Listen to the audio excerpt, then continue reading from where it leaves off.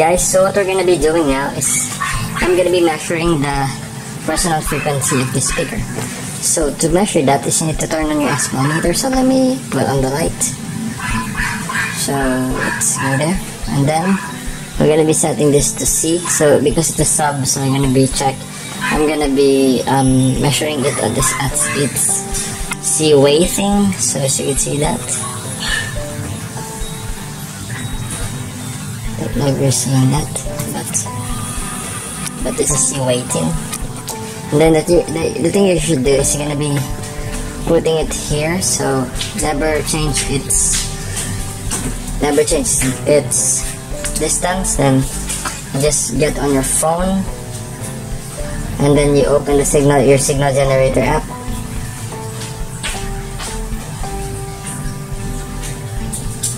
so let me get onto my signal generator app alright so here goes so you're gonna be maximizing the volume. I'm just kidding. But we're gonna be using that as a reference volume, the maximum volume. So let's start from 20 hertz. How much decibels do we get? Should not be moving. It's just, it's not. So just a little movement. There's really no changes at all. So 20 hertz is nothing. So let's change it to about 30. 38. Is there any? So there is, but the vibration is not yet enough. Then we'll do about 50.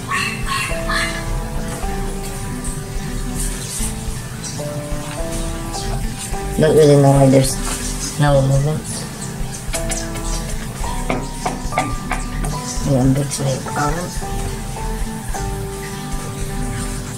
There's really no 100.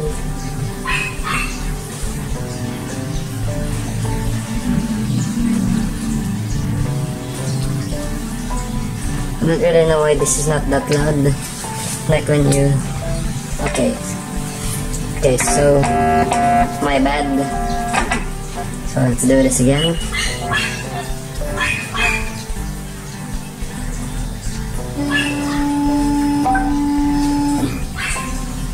here is here is some 55 hertz test tone oh, but wait before that let's start from 30 so we get about so we get about um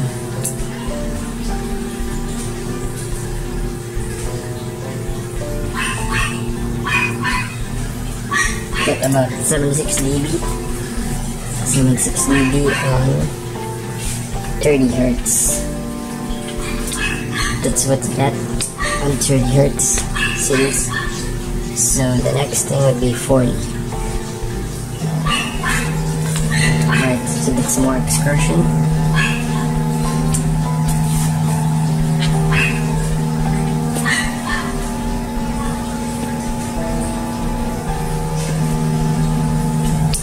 So the next the next would be so you see this. So the next one should be um, 50 hertz.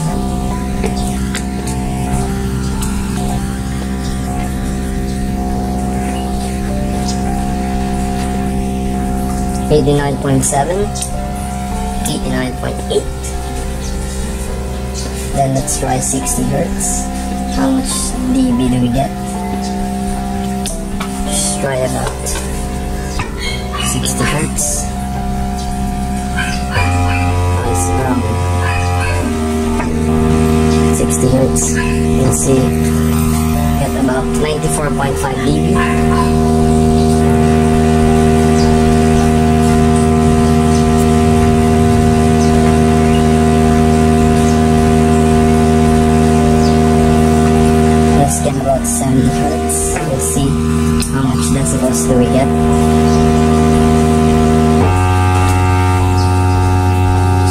70 hertz and get about 95.5 dB.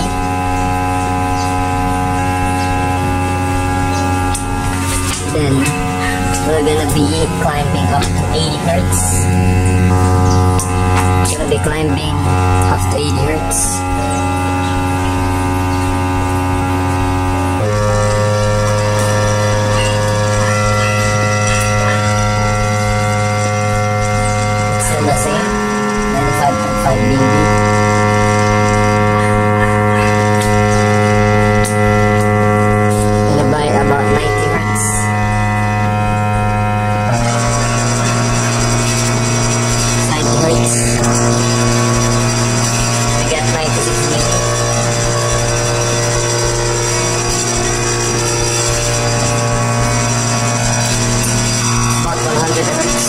Hertz. Let's see about 100 hertz.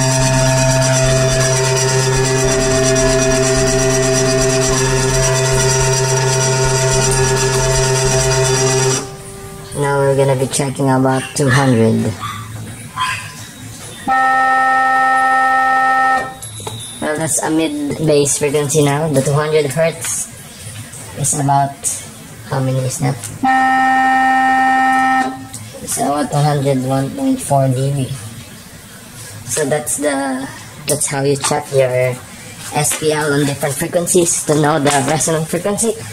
So when we're checking out about our chart over here, so you can see we have a frequency of 30 hertz, 40 hertz, 50 hertz, 60 hertz, and those are the various decibels that we get from our meter.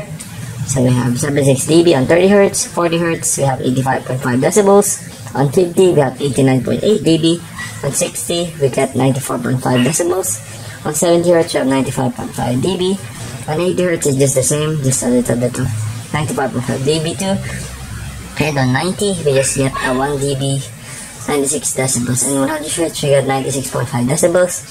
And in 100 and 200 hertz we get 101.4 dB. What if we increase the frequency? Do we get um, a higher a higher amount of SPL we'll see about 300 but let's start in a volume well that's that's already a mid frequency it's not a sub it's not a sub anymore.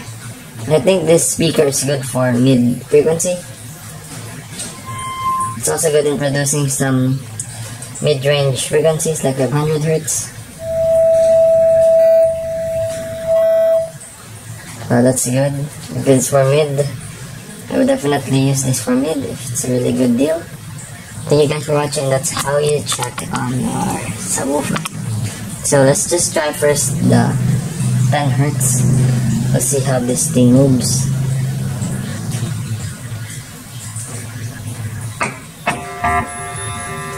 Let's see again.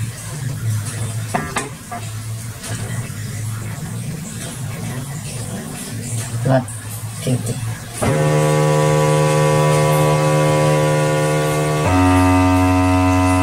That's about it's about 20 that's how it moves in 20 hertz about 30 so it moves like a sub a real sub when you set under 20 it's a really good kind of speaker it's only a 5.3 inch if I'm by 25 don't really know. But it's a really good deal if you want this kind of things. And I have no EQ I didn't apply any equalizer on this part so that I'm not really not cheating. Thank you guys for watching